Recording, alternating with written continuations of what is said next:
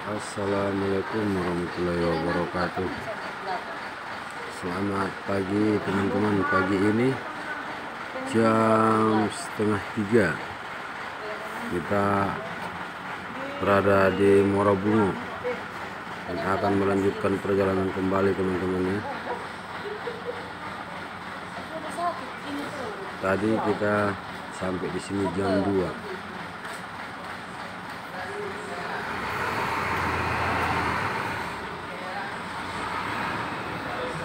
Thank you.